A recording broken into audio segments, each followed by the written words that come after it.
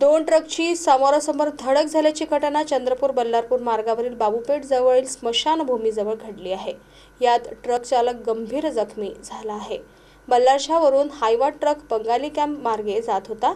याच वेळी विरुद्ध दिशेने येणारा पेट्रोल टँकचा वेग जास्त असल्याने ट्रकवरील नियंत्रण सुटल्याने दुसऱ्या ट्रकला आदळला या धडकेत दोन्ही ट्रक चालक गंभीर जखमी झाले आहेत.